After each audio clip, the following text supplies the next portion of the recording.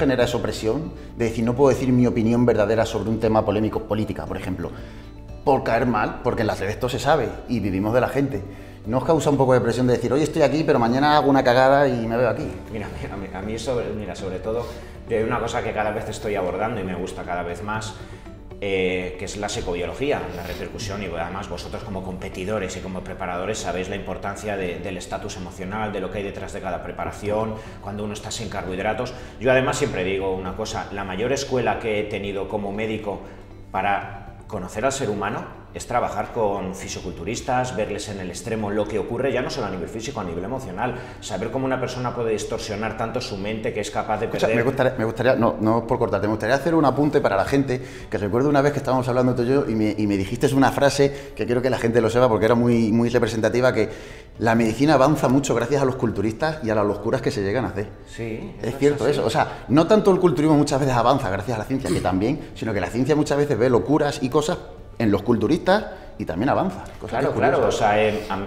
en, el doctor Mengele, no sé si sabéis quién es, fue, el doctor más representativo de los nazis. Ojalá no hubiera tenido que hacer tantos experimentos como hizo, congelar a gente, llevarlos a las máximas temperaturas, eh, hacerles aberraciones, desangrarles para ver cuánto aguantaba, pero por desgracia realizó una serie de experimentos en judíos, en personas que estaban eh, en los campos de concentración, en Auschwitz, pero gracias a toda la recopilación de estudios que hizo, la medicina dio un salto cuántico. Ojalá no hubiera sido necesario pasar por ahí para recopilar tanta información a nivel de fisiología, pero yo siempre lo digo, o sea, lo que he observado, no solo en fisioculturistas, en deportistas, futbolistas, ciclistas, gente que hace Ironman, que ves en la última transición tras 12 horas lo que está ocurriendo en su cuerpo, en las analíticas que veo al día siguiente, yo no he visto nada de eso en la carrera ni en el hospital. ¿Por qué? Porque tú estás viendo eh, al 95% de la población. En una campana de Gauss ves al 95%, pero esos extremos y lo que ves en el fisioculturismo eh, no lo ves en la carrera y no está en los libros de la carrera. Ni en estudios, que esto es lo que muchas veces la gente, ni en estudios. Claro, claro. puedes encontrar claro, de forma empírica y de forma práctica, igual que vosotros con muchos de vuestros clientes, cuando ves realmente, sí, que me da igual lo que ponga este estudio, pero es que veo que en 200 de mis clientes a los cuales le he mandado este suplemento ocurre o no ocurre. Ojo, te enteras de un efecto colateral que es beneficioso, que luego lo empiezas a extender a muchos clientes porque lo has visto en tu práctica clínica y evidentemente no lo puedes constatar con un estudio porque no hay la financiación suficiente como para decirle a Bayern que venga y, y trabaje contigo. Y lo que os decía, pues la propia evolución de, trabajar con deportistas te hace ver, y, luego también con, personas con patologías, la importancia de la psique, la importancia de ver cómo repercute en la evolución de un deportista, cómo estás emocionalmente. Vosotros lo sabéis que hasta esa subida de cortisol dos tres días antes de un campeonato te borra, te, te retiene, te, te genera la piel gorda, no duermes, liberas tantas de esas cosas que hace que emocionalmente sea crucial dar un paso hacia adelante. Y una de las cosas que observo que más me condiciona eh, yo doy bastantes seminarios de psicobiología y si hablo del comportamiento o de la influencia en los comportamientos del hombre por la testosterona no pasa nada, pero con la mujer tengo que ir con muchísimo cuidado. Por ejemplo, por toda la repercusión que ahora existe eh, mediáticamente con todo lo que está ocurriendo eh, pues, entre la lucha hombre-mujer, que en muchas mm. ocasiones creo que se lleva al extremo. Y cuando doy seminarios hablando de fisiología pura, hablando de la repercusión que tiene el estrógeno, la etapa folicular, la luteinizante, cómo eso genera modulaciones que además conocemos hacerlo es bonito porque una mujer se va a ayudar a sí misma y va a ayudar al entorno, a sabiendo que en esos 28 días tiene cambios, pues voy con un tacto tremendo, tremendo porque se pueden herir muchísimas sensibilidades y lo entiendo porque estamos muy condicionados y ahora existe muchísimo. Y como eso pues claro, miles de historias, pues cuando vosotros habléis de metabolismo, de esto, del otro, yo sé que por ejemplo tú en tu canal es otra historia, de hecho ves cómo hablas en más músculo y, hablas en el tuyo y es, y es totalmente, y, sé que ahí abrirás muchas heridas. Sí, yo por ejemplo con el tema de mi canal de más músculo, a ver, la gente no entiende que yo cuando hablo para más músculo no dejo de hablar representando a alguien y tengo que ser correcto en mi canal me desahogo yo como quiero. Entonces cuando la gente dice, no, pero habla como en tu canal, digo, ya, pero es que a lo mejor hiero demasiados clientes, ¿sabes? No, de más músculo, no puedo hablar tan claro. Entonces, pero en mi caso es casi al revés, en el canal de más músculo tiene que ser más correcto. Claro que en el fondo me da cuenta que a la gente no le gusta, porque detrás de lo que hemos dicho. El que me sigue y le gusta como soy es porque hago claro, normal, entonces ¿para qué voy a andar escondiendo nada? Entonces, yo la primera vez que grabé, sí que recuerdo, me sentía súper incómodo, súper incómodo. Por, primero porque yo grababa solo en mi casa con una tablet aquí puesta y yo hablaba, hablaba, hablaba y era como un modo diario, yo me desahogaba y ya está. Pero claro, luego ves al cámara, tienes el micrófono, no, esto no se ha escuchado bien, un foco aquí mirando, yo tengo los ojos azules claros que ya al final me lloraban los ojos. una incomodidad de cojones. Yo decía, es que no es lo mismo. Es que por mucho que yo quiera expresarme igual, no es igual. La presión de saber que detrás de esa cámara hay miles y miles de personas. Ojo, y la presión que tiene que yo en mi canal meto un gazapazo y me equivoco y digo, bueno, mira, me he equivocado. Pero claro, ya hablando para otra gente, te equivocas en algo y una simple palabra tonta ya sabes que siempre hay uno que te lo va a poner. Has dicho mm, mm, sistema nervioso simpático y es el parasimpático. estamos haciendo un mundo de esto, ¿sabes? Y con un cuidado de no trabarte. Sí, es verdad que existe esa presión. Yo recuerdo los primeros vídeos, pero al final uno va aprendiendo y dice, bueno. Tú, ese, día te lo habías programado, lo sabías, ¿no? jamás. O sea, yo jamás, y todo el mundo lo sabe, eh, me he programado nada. Es más, la primera vez que me hicieron dar un seminario con un PowerPoint fue un desastre. un desastre, porque yo no llevo nada, nada apuntado. Yo llego a una reunión de amigos, puede haber 50 o seminarios que da con 300 personas en Hispanoamérica y prácticamente voy a hablar y me dicen, bueno, ¿de qué vas a hablar? No lo sé. Empezaremos y Yo empiezo y tengo mis propios conocimientos, con mi propia práctica y si me equivoco, o hay muchos seminarios en directo en el que prácticamente se me ha ido lo que estaba hablando, oye, disculparme que se me ha ido natural. Porque es que ni siquiera voy apuntando con un boli en un papel, naturalmente, o sea, ser, ser, tú mismo. Que como hemos hablado también al principio, incluso así, matices o no, prácticamente vas a tener crítica. Siempre. ¿Vale? De, todas maneras.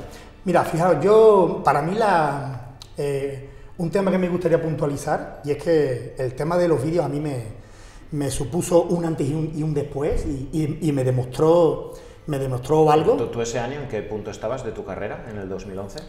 2011, yo creo que mi primer Mister Olimpia fue en 2012, no, 2011, 2011, 2012, 2013. Me pasó una cosa muy, muy curiosa en el que, claro, yo grababa vídeos, pero estaba totalmente ajeno, porque yo era mentalidad total culturista. Mis horas de comer, mis horas de entrenar, y yo grababa y mi vida cambiaba. Yo estaba en un mundo paralelo. Viajes internacionales, Mister Olimpia, clasificación, punto, y estaba ajeno totalmente a los vídeos, ¿no? Pues resulta que cuando incluso venía del Mister Olimpia y coincidía con ferias, ¿no? El Arnold Claso de Madrid o, FIBO, eh, te ibas encontrando a fans mediante iba llegando a, tu sitio, al stand, o incluso en el propio stand, ¿no? Cuando hacen tus tu fans en cola, y prácticamente te encuentras que el 92-98% te van preguntando. Eh, por los vídeos, por temas que has grabado, por, bueno, mira, que vengo de un Mister Olimpia, que tal, o una crítica, no, no. y así, a medida que pasa tu vida, te das cuenta en el que tú dices, bueno, prácticamente mi carrera deportiva... Se ha quedado relegada ya. Es, totalmente la competición, y, es más, eh, ya en, esta etapa última en, en, la que me ha hecho sopesar y decir, bueno, pero es que verdaderamente es lo que me gusta.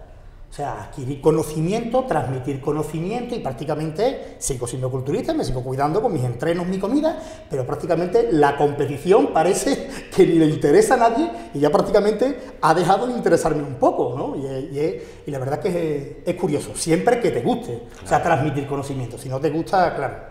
No, a mí me pasó algo parecido, yo cuando empecé a grabar vídeos, ¿Tú cuándo empezaste? ¿Qué año? Yo hace muy poquito, hace muy poquito. Yo vivía enjaulado en mi Toledo, ¿sabes? Y yo hace poco. Yo Eso es muy, muy, hace poco, pero muy intensivo. Porque, además, muy tú eres el que utiliza el vídeo según el encabronamiento que hay ese día, según la que te han liado, pues oye. Yo mi, primer vídeo ya, en, no fue en mi canal, fue en Facebook, que lo subí en Facebook, fue porque me encabroné por una cosa que escuché a gente decir.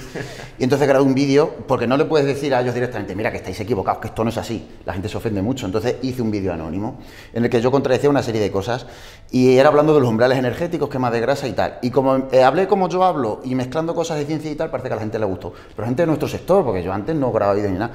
Total, que hice otro, hice otro y ya me dio por subir el primero al canal, que era el de los Yorkshire. Porque a mí me enerva ver cómo la gente se mete con los grandes culturistas, ha muerto Macabre a criticarlo, a no sé qué, a no sé cuál. Coño, respetarlo, ¿sabes? O sea, que ha muerto, sea por el motivo que sea, guarda las críticas que está muerto y, no sabes por qué, pero no lo sabes ni tú, ni tú, ni yo, ni nadie, pues por lo menos el beneficio de la duda, ¿no? No sabemos por qué ha muerto, vamos a dejarle tranquilo. Entonces, ese vídeo fue quizás el que hice más encabronado. ¿De qué, era el vídeo? Hablaba de los Yorkshire, de que decía que siempre la gente pequeña se mete con los grandes, siempre están ah, ladrando detrás. Ah, vale, vale, vale, vale. ¿Sabes? Y era eh, pues, relativo a esas cosas, que es que los que van al Mister Olimpia se meten mucho, sinceramente ¿Cuántos saben lo que usa o no usa un Mister Olimpia? Posiblemente ni él, porque ni se acuerde ya. ¿Sabes? Cada año lo cambia y ni se acuerde. Entonces, ¿cómo lo voy a saber yo? Tal? Entonces me molestaba mucho, hice ese vídeo. Y a raíz de ese vídeo empecé a subir y bueno, la verdad es que empecé a, a tener seguidores, esto, lo otro, y es curioso, o sea, me sigue muy poca gente porque subo vídeos muy esporádicamente, pero tienen muchas visualizaciones esos vídeos. Y sin darme cuenta, lo que dice Raúl, al final te das, vas avanzando y me preguntaban, ¿qué opinas de este personaje de Instagram? ¿qué coño es? No lo sé. Háblame a mí de Carrasco, de Chacón, de esto, pero yo no, no tal. ¿Qué opinas de este youtuber que dice esto? Digo, ¿qué youtuber? Digo, ¿quién son los youtubers? Digo, yo ni sabía quién era. ¿Qué opinas del duelo que hay ahora entre tal youtuber? Y yo me quedaba flipando. Digo, es que esto es un mundo que no es lo que yo he vivido. Es completamente ajeno. Y al final te das cuenta que lo que menos importa es la competición. Nada, nada, competición, nada. Competición somos cuatro matados los que la hacemos, pero esos cuatro matados somos la representación de millones de personas que no les interesa esto, les interesa el proceso hasta aquí. ¿Y para qué? Muy sencillo, para traer al sexo contrario. Si esto, se- esto al final se traduce en eso, los chicos quieren estar mejor para las chicas, las chicas para los chicos. Fíjate qué simple. Pero yo vivía pues en el mundo del culturismo y, y para mí fue de sopetón. Yo empecé a grabar hace dos años. A lo mejor vosotros no, pues, porque lleváis relativamente pocos años, hace 20 años sería mucho más eh, el, cambio, pero claro, estoy seguro que a nivel de gimnasio es la gente que busca prepararse. En relación que ha salido ya eh, YouTube, claro, o sea, eh, el, el impacto de lo que significa el postureo, o sea, en palabras mayúsculas, o sea, eh, genera que luego, claro, o sea, el que verdaderamente quiere competir y lo quiere tomar eh, la, la carrera de, de la competición, sea de forma amateur o sea de forma profesional, cada vez esté quedando más en el rincón y seguro que lo habéis notado. Sí. Un- una mota de polvo, prácticamente. Ya una, eh, yo pongo incluso un ejemplo, si se puede parecer, ¿no? Antiguamente, hace 15 o 20 años cuando competíamos, ¿no? El, el campeón de España de, de culturismo, eh, al día siguiente de ganarlo, eh, parecía que caía una bomba. ¡Bum! Hoy en día prácticamente eh, el mundo se mueve, bueno, el mundo no, nue- nuestro mundo se mueve a nivel de redes sociales, mediatismo, o sea, competición, nada, nada. O sea, prácticamente ni siquiera. Yo este año es que no, no- no re- no recuerdo ni, ni cuándo fue el campeonato de España, ni quién a ganar campeonato de España, ni... Entre otras cosas porque ahora hay cuatro campeones de España al año. Efectivamente. ¿sabes? Antes había uno, ahora hay No, y cuatro. entre ellos, entre, entre, entre ellos, eh, ese uno de los hechos políticos también, pero, pero es tanto lo que, lo que repercute que prácticamente, como dice Tony, se ha relegado a... Claro, yo me imagino que incluso en el ámbito profesional, eh, quizá ahora cada vez más, a lo mejor tú ya que llevas unos años retirado no lo viste tanto, pero estoy seguro que hasta ya, ya en el ámbito de profesionales genera impacto en cuanto a los resultados, la repercusión que esa persona esté teniendo en redes sociales. Imagino que Sí, eso, sí, sí, sí. porque hay sponsors, hay gente que, le, que, quiere que gane tal persona porque va a generar más repercusión y más dinero, evidentemente. No, incluso así. Mira, yo recuerdo una, una, una marca muy, muy potente, que no la voy a nombrar por no hacer publicidad, en, eh, en, en- en Hispanoamérica, en Chile. Estuve yo almorzando eh, con el director y me dijo que, que tal como un atleta amateur si se hace profesional, iba fuera. Bueno, será todo lo contrario, ¿no? No, porque una vez que pasas a ser profesional, dejas de destacar. O al menos así es en el 98% Sí. de, de los casos. Entonces, prácticamente, claro, cuando yo empecé era muy diferente. Uno prácticamente compite, pero ya va viendo una forma de vida y tú dices, bueno, quiero seguir compitiendo, quiero seguir avanzando, aunque no gane, pero salir bien. Y hay muchos culturistas profesionales en la, en la historia que nunca llegaron a ganar, ganar nada, pero han sido, han sido gran- grandes personajes, ¿no? Y uno dice, bueno, al menos eh, elevar mi nombre, ¿no? Elevar, pues Raúl Carrasco es mi empresa, pues elevar mi empresa para que en un futuro pueda sacarle rentabilidad, hombre, y ganar dinero, porque todos queremos ganar dinero para nuestro futuro, para nuestra familia para- y para, para nuestros hijos. Pero eso hoy en día ya es que es muy difícil, ya es que da igual que ganes un campeonato, da igual que entrenes más, da igual, prácticamente el que, el que más postureo tiene, prácticamente es en el que se van a fijar y seguramente más dinero va a ganar. Sí, hoy en día yo creo que eh, triunfa, la palabra triunfar es un poco relativa, bueno, pero triunfa más el que se hace más ver por lo que sea. O sea, el que es más conocido por lo que sea. Al final todos tenemos una identidad propia. eh, tú, por ejemplo, que eres médico, tú que has sido pro, yo a lo mejor por decir las cosas demasiado claras. Cada uno tiene una identidad y es lo que te hace ser distinto a los demás. Por eso, aunque siga habiendo 100.000 preparadores, solo hay cuatro que son los que siguen ahí, porque tienen una identidad propia. O sea, son, todos sabemos que son por su nombre, se acabó, no por su canal ni por esto, sino por su nombre. Y yo creo que lo que falta hoy es eso, gente que de verdad sepa y tenga una identidad, lo que tú has dicho, ser su propia empresa, eso es jodido. O sea, por ejemplo, en tu caso lo eres y tengas la clínica aquí o allí, vas a tener gente. Raúl, yo, pero hay gente que no, que vive eh, solamente de las redes y como quites su canal, como quites esto, como quites- dejan, desaparecen. De hecho, vemos aparecer y desaparecer gente todos los años, yo creo. ¿Sabes? Porque hoy en día hay mucha gente, mucha gente fuerte, mucha gente guapa, mucha gente que sabe mucho, pero pocos que tengan una marca, una marca propia.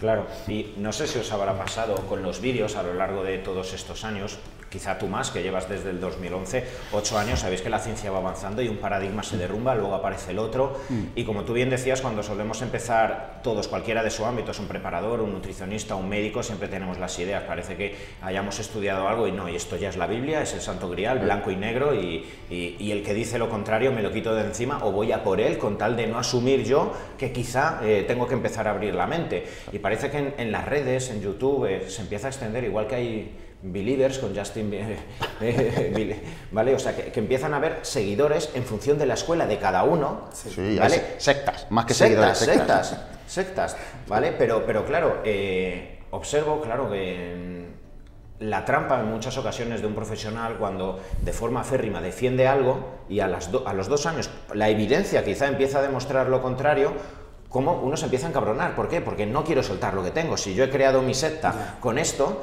entonces, eh, claro, y es, en muchas ocasiones es la trampa que te puede generar YouTube o las redes. Tú creces con un sistema, creces y te lo crees en ese momento porque lo estás defendiendo, pero sin darte cuenta te estás enganchando tú a ti mismo a esa creencia que has establecido y tú mismo no te estás dando la oportunidad para que dentro de tres años tengas la humildad suficiente como para escuchar al que viene. y yo creo que a quien más, quien menos le ha pasado. Y es más, ¿cuántas veces ocurre y, creo que alguna vez te lo he visto en, algún vídeo decir que ves cualquiera que ha utilizado un estudio que la muestra eran cuatro personas, lo ves, ya lo decía yo, claro, eres un defensor de que la vitamina D hace esto, has visto un estudio que han hecho no sé dónde, pero luego la analizas dice, pero si solo lo han hecho con seis personas y lo estás utilizando porque inconscientemente vas buscando los estudios o las noticias sensacionalistas que apoyan tus teorías. Y luego todos tus seguidores, no, no, sí, claro, ya lo decíamos, Claro, y se, se, monta ahí. Mira, a mí, ¿sabes una cosa que me criticaron una vez en un vídeo del canal? Que yo me quedé asombrado, ¿sabes? Que decían que si yo estoy diciendo yo creo, ya no tengo credibilidad ninguna. Cuando precisamente es lo contrario. O sea, para mí el que dice esto es así, así y así es el que no me creo. Digo, tú te crees tus propias mentiras y son verdad mentiras te las estás creyendo. Claro. Yo nunca digo esto es así, digo yo creo que esto es así. Por lo que tú dices, porque hoy no pienso lo mismo que hace un año y el año que viene pensaré distinto. Vivencias, experiencias, conocimientos. Eh, al final se aprende mucho viajando y conociendo gente y, y, te das cuenta de cómo se preparan en Sudamérica, que es totalmente distinto a cómo nos preparamos aquí, que es distinto a cómo allí. Y yo siempre utilizo el yo creo y hasta eso me criticaron precisamente porque la gente hoy es muy sectaria. Y si yo soy de esta opinión, quiero eh, escuchar siempre lo mismo para yo sentirme bien. Y eso algún día acabará con esa gente. De hecho, hay algún canal que es así, ¿sabes? Que es un poco sectario, de yo opino esto y esto es así. Y yo creo que antes o después esos canales mueren.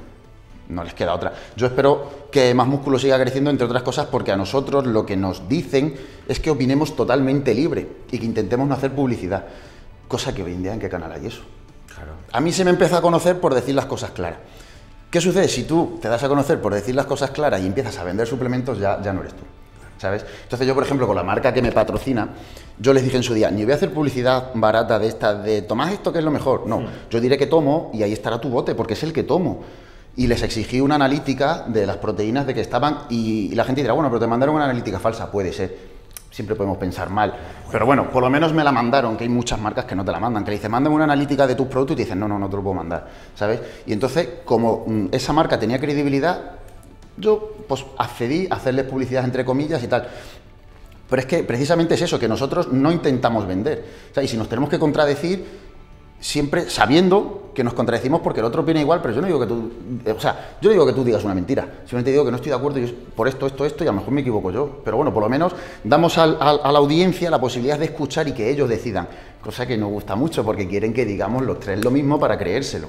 Cojo, pero es que, como tú bien has dicho antes, es que siempre estamos hablando de un contexto. Y yo mismo puedo hacer un vídeo hablando de una determinada ruta enzimática en un contexto y al mes hablo de esa misma ruta destinado a una patología y parece aparentemente que estoy diciendo lo contrario y tú lo mismo. O tú puedes estar desde hace dos años que surgió tu metodología de la dieta híbrida y mucha gente va a pensar que no, Raúl Carrasco dice esto y tiene que ser así y, evidentemente por el propio avance y conocimiento y el estudio sacas otra herramienta que no contradice a la otra y dice, ah, ahora ya se le ha pasado la otra moda y ahora está vendiéndonos lo otro. Y, y, es no saber entender el contexto y la metodología que va cambiando según el tiempo, según el caso.